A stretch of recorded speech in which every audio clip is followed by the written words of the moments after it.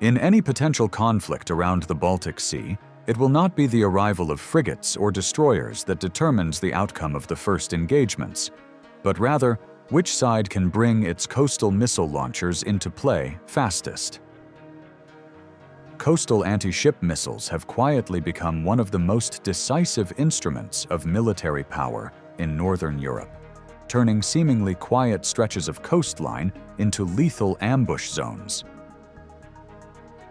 These systems are relatively cheap compared to large naval vessels, highly mobile, and capable of delivering precise strikes against ships hundreds of kilometers away.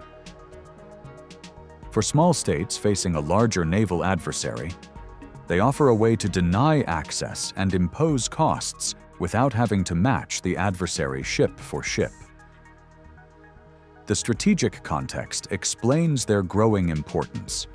The Baltic Sea is a confined body of water, dotted with islands, and connected to the North Sea by narrow straits.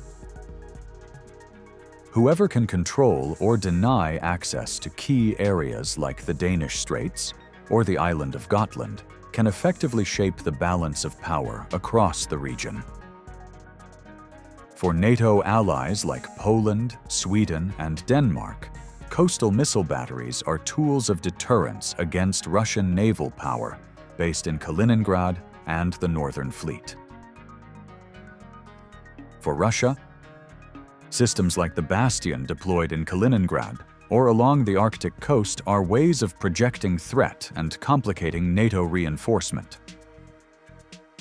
In this theater, where geography favors ambush and choke points, the ability to rapidly target ships from the shore is strategically decisive. Technologically, three families of systems dominate the conversation today. The Norwegian-made NSM, Sweden's RBS-15, and Russia's Bastion Onyx. Each represents a different design philosophy, with distinct strengths and weaknesses. The Naval Strike Missile, developed by Kongsberg, is subsonic but stealthy, using sea-skimming profiles and an imaging infrared seeker in its terminal phase. Its effective range is over 180 kilometers, and it can be launched from both ships and mobile coastal defense batteries.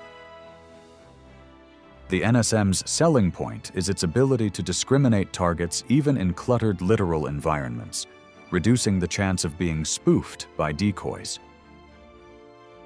It has already been adopted widely across NATO, from Poland to Denmark to the United States, creating commonality and scale of production. The RBS-15, produced by Saab, is Sweden's long-standing answer to the same problem. The newest variants offer ranges over 200 kilometers. With inertial navigation, GPS updates, and an active radar seeker in the terminal phase. The Swedish armed forces have signed contracts to modernize their coastal defense units with updated RBS-15 launchers reflecting the priority Stockholm places on littoral deterrence. The RBS-15 family is versatile. It can be launched from ships, aircraft, or truck-mounted coastal systems. Its long endurance and sea-skimming terminal approach make it a threat to any surface vessel that comes within its envelope. On the Russian side, the Bastion coastal defense system armed with the P-800 Onyx missile is a different beast altogether. Unlike NSM or RBS-15, the Onyx is supersonic, with speeds up to Mach 2.5 and ranges reported between 300 and 500 kilometers depending on variant. Fired from mobile launchers, a salvo of Onyx presents defenders with a drastically reduced reaction time. These systems are already deployed in Kaliningrad, in Crimea, and in the Arctic, forming part of Russia's broader anti-access area denial doctrine. In exercises, Russia has demonstrated salvos that could threaten naval groups far out at sea. Their presence forces NATO navies to assume that any transit within the Baltic could be under missile threat within minutes. The effectiveness of all these systems depends on the kill chain, the sequence from detection to command and control to launch to impact. For a coastal battery to be effective, it must first know where the target is. That requires sensors such as maritime patrol aircraft, drones, satellites, or over-the-horizon radar. Next comes the command system that must quickly validate the target and authorize a strike. Then the mobile launcher, often truck-mounted, must be in position, dispersed, and ready to fire. Finally, the missile itself must penetrate defenses and strike the intended ship.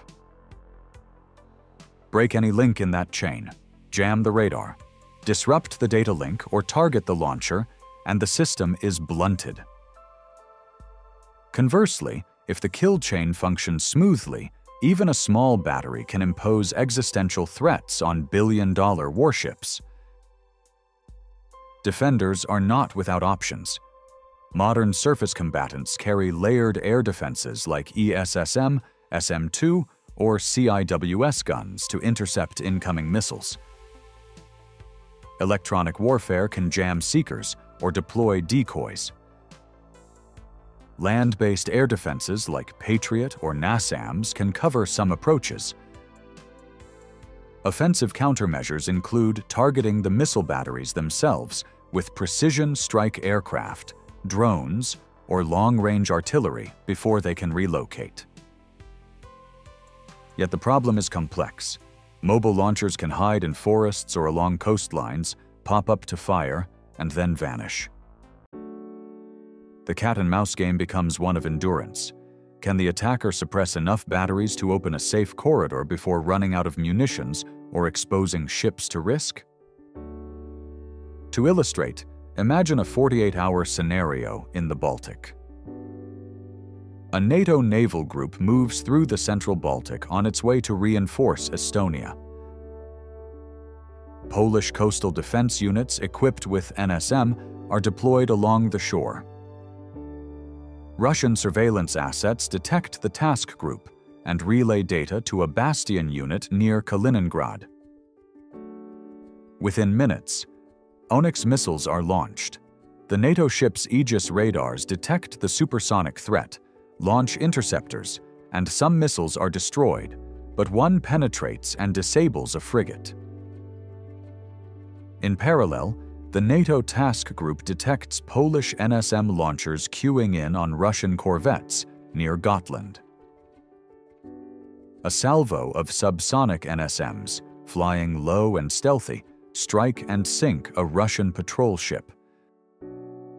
The result is a mutual exchange where both sides lose assets rapidly. Political leaders now face the choice of escalation or negotiation. This scenario highlights the volatility of coastal missile warfare. The margin between deterrence and open naval combat is razor thin. From a strategic standpoint, the proliferation of coastal anti-ship missiles is reshaping Northern Europe's security environment. For small states, they are a cost-effective deterrent, able to raise the stakes for any aggressor. For NATO as a whole, they offer a way to complicate Russian naval planning and buy time for reinforcements. For Russia, they provide a way to threaten NATO's lines of communication and maintain leverage despite having a smaller surface fleet. But the very attributes that make them attractive, low cost, high mobility, and lethal effect, also make them destabilizing. In a crisis, the temptation to launch a preemptive strike with coastal missiles could be strong, knowing that waiting might mean losing launchers to enemy counterfire. Looking forward, several trends stand out. First, the integration of sensors and data links will matter as much as the missiles themselves. Without timely and accurate targeting, even the best missile is useless. Second, the industrial base is becoming critical. Rheinmetall and other European firms are investing in ammunition plants precisely because coastal systems consume missiles rapidly in conflict, and resupply must be assured. Third, counter-UAS and cyber defenses must be linked to these systems, since drones and electronic attacks are the natural way adversaries will try to break the kill chain. Finally, policymakers need to recognize that controlling escalation will be difficult in a theater saturated with mobile, long-range strike systems. Exercises, confidence building, and clear communication may be necessary to prevent accidental escalation. In conclusion, coastal anti-ship missiles like the NSM, RBS-15, and Bastion are transforming the Baltic into a chessboard where every coastline is a potential launch pad and every ship is a potential target. They embody the shift from conventional fleet engagements to dispersed, networked strike systems. For NATO and Russia alike, the question is not whether these weapons will be decisive, but whether their presence will deter conflict or make it more likely through miscalculation. In that sense, who controls the coastal kill chain may well control the fate of Northern Europe's security.